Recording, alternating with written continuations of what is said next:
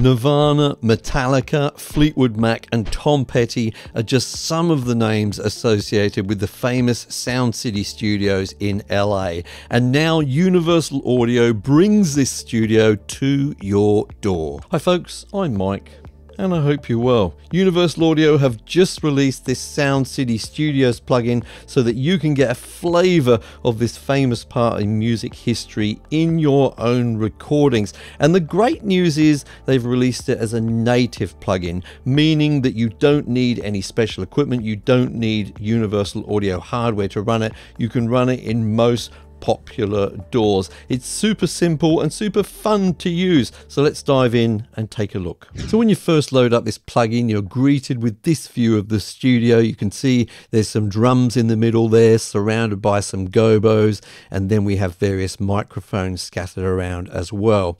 And your basic configuration here depends on what you select as the source at the top. So if, for example, I was going to be using this with acoustic guitar, I might go up to acoustic and then into live here and you can see that those gobos have been moved out of the way and we've got some different microphones set up in different positions here. Likewise if we go to acoustic and then down to piano we can see another setup where the piano is set up in the corner again with some different suitable microphones for that kind of setup. Likewise we'll go to drums and corner here and we've got a corner setup for the drums as well. So all of these are going to pretty drastically change change the basic sound. Now, once you've got your setup, then you can refine it further by first of all moving some of these microphones around. So I can move these ones backwards and forwards. I can move these ones forward and inward. The ones over the drum kit I can move up and down like so.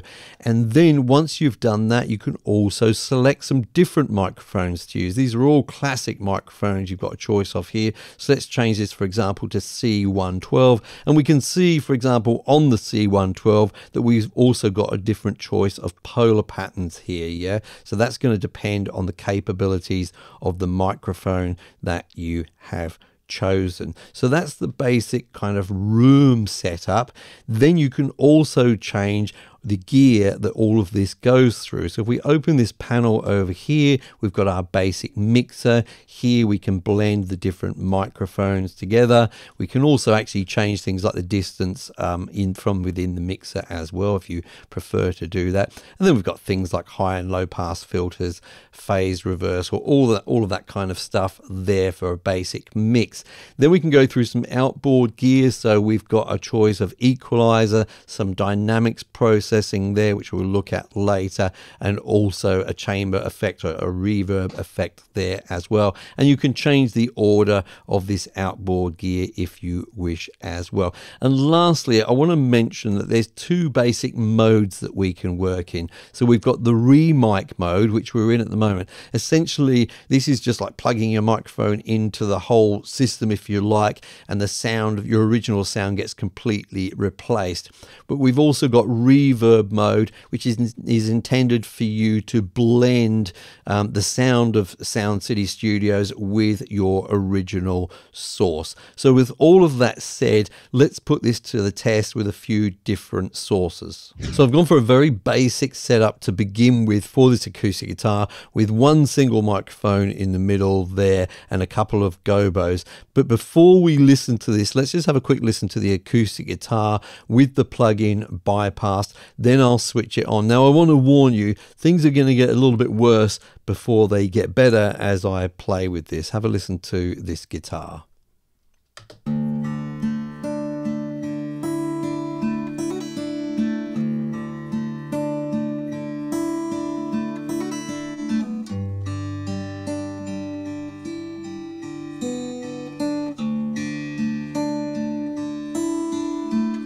Okay, that single C12 microphone in the middle there has got too much of a sort of a, a lo-fi quality for my liking. So I'm going to switch over to uh, a pair of C414s, these AKGs here. We can adjust the height on these, but have a quick listen to this.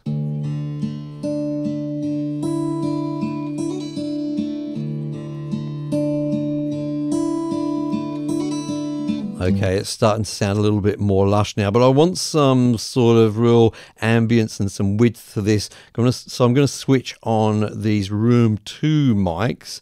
I might leave it on the default KM54s there. We can just move these around. Let's have a listen to that.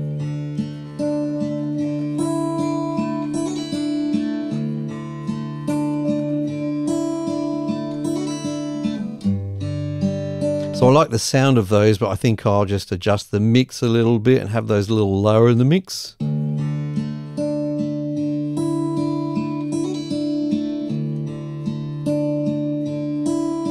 Cool, and I think we'll switch on uh, these U67s as well, just out to the sides here. This is going to make it sound really nice and wide. Have a listen.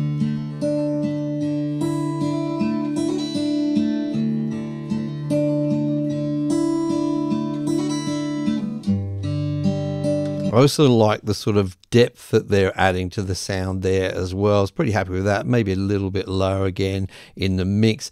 And then I may go ahead and actually start changing a couple of basics over here. I think I'll do a low pass filter on these two microphones. Have a listen.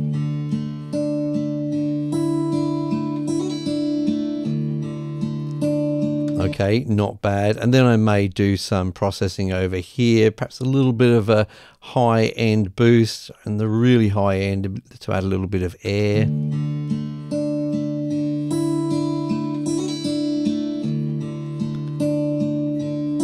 I don't mind that. I don't know that I need any dynamics processing on this. I'll switch that off.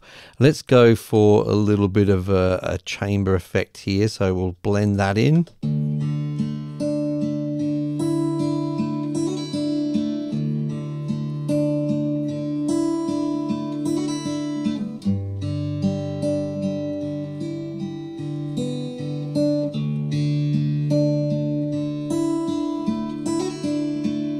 So let's compare what our result is to the original. We'll start off bypassed.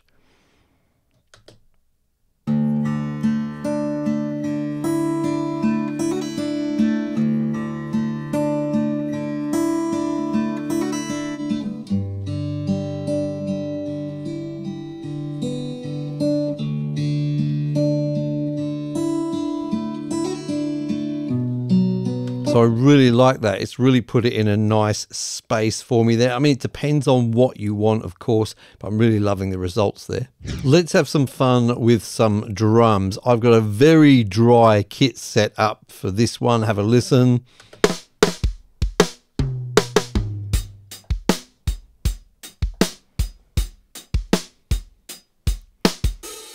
So all the room mics and overheads and everything taken out. Let's just have a listen with the basic C414 set up there as the overheads. Have a listen.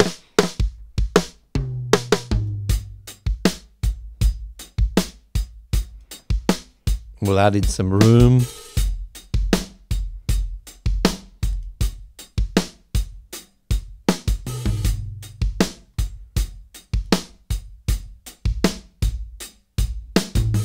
Like that.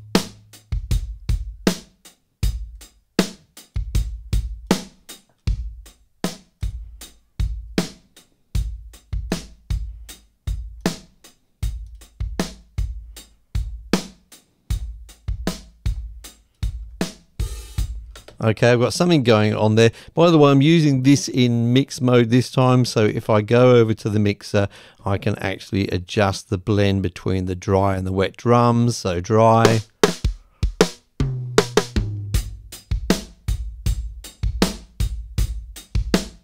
Nice. I might use a little bit of EQ.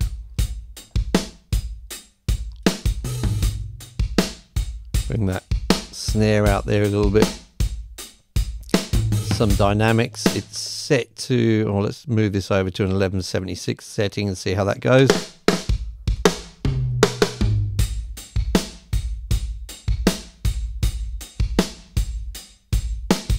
Nice.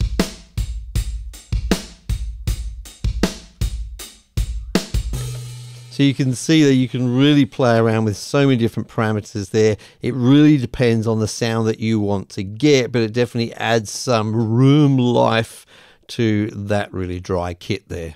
So on this occasion, I'm working with a group of backing vocals or harmony vocals. I've already got a pair of C414 set up. Let's just have a listen to what I've got so far.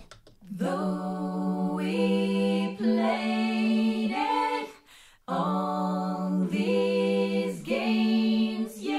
Okay, so let's bring in a room mic here. So I'll switch these on. We'll get a bit of width here.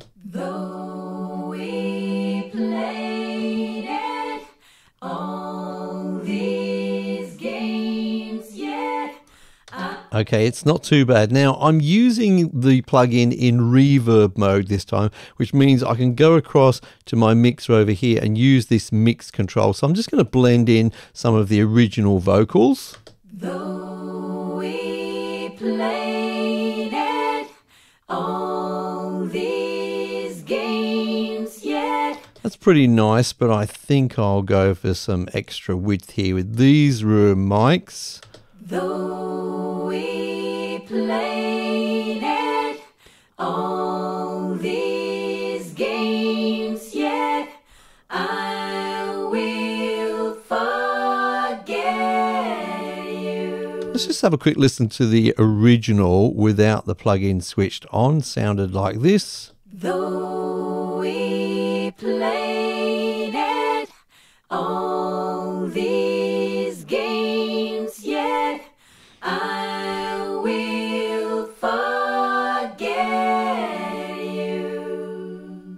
So let me know what you think about this plugin in the comments down below. I'd love to hear from you there. And if you'd like to know what my top five UAD native plugins are, check out this video right here.